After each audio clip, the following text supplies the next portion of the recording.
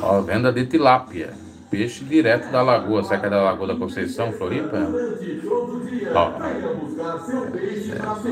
Peixe para Semana Santa. Peixe direto da lagoa. Rua Canto dos Limões. Próxima cascata do Fernandes. São Batista. É nesta quarta, quinta e sexta. Venda de tilápia. Peixe direto da lagoa.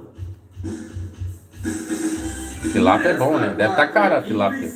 Durante todo o dia. Eita, seu peixe pra semana santa. É. Venda de tilápia, peixe direto. Esse camarada tá falando, né? Tem até um canal aí no YouTube aí, ele tem canal no. Ele tem no Facebook, mas eu vou divulgar ele porque ele não divulga eu também, né? Mas ele tem esse, esse locutor antigo aqui da cidade. Até é crente também, evangélico. É venda da tilápia. É, grande tilapeiro. Ó, não para mais, né? Só o peixe. É o peixe da Semana Santa. Porque comer carne é pecado. Tem um vídeo lá no pregador, né? É pecado comer carne? é óbvio que não é. Nem a própria igreja católica considera pecado, é só uma recomendação. Mas os mais tradicionais, ou os mais fanáticos, acham que tem que comer peixe. Que carne é um pecado. É, quem não tem pecado come peixe. É, todos, todos santos. A minha mãe, para você ter uma ideia, ela é evangélica, estava falando dela.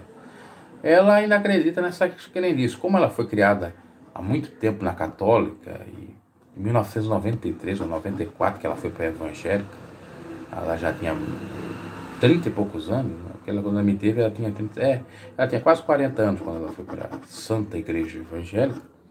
Então ela ficou 40 anos na católica, o nome dela, inclusive, é o nome de uma santa que a avó colocou, o nome das filhas, tudo nome de santa. Maria, colocou três nomes de Marias e as Maria, acho que é tudo santa. Né?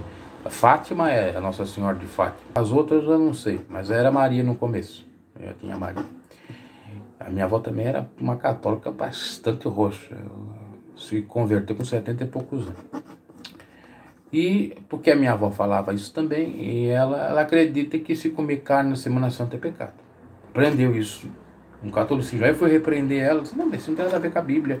E nem os próprios católicos acreditam nisso, nem está no catecismo. Ficou brava comigo, né? no passado, agora já compreende. Para você ver. Né?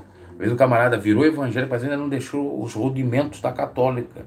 Tá cheio de gente assim.